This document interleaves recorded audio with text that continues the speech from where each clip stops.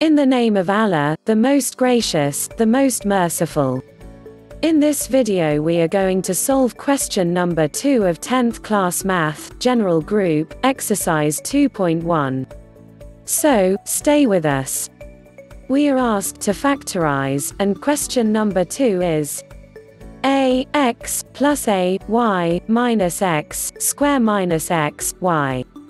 Let's see its solution. We are taking question as it is.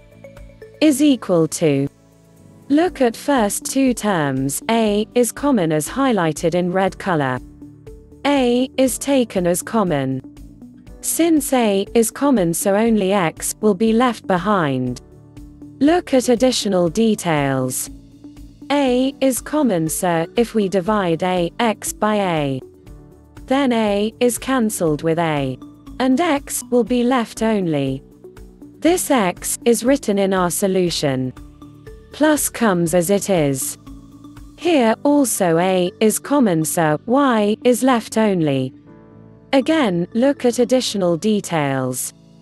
a is common so if we divide a y by a. Then a is cancelled with a. And y will be left only. And this y is written in our solution. Minus is written as it is. x is common in both these terms. x is taken as common. x is common so x will be left from x square.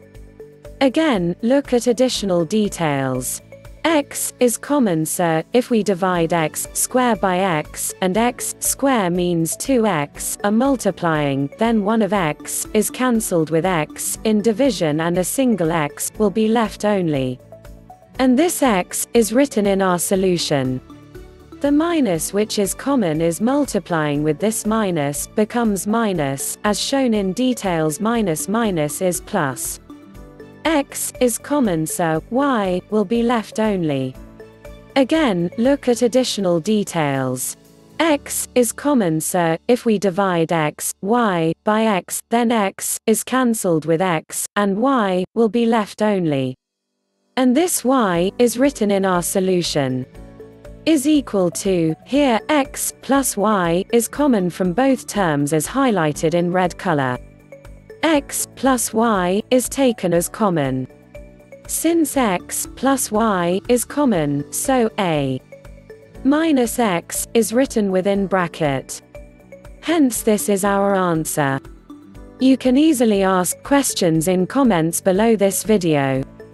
Please like this video and subscribe our channel.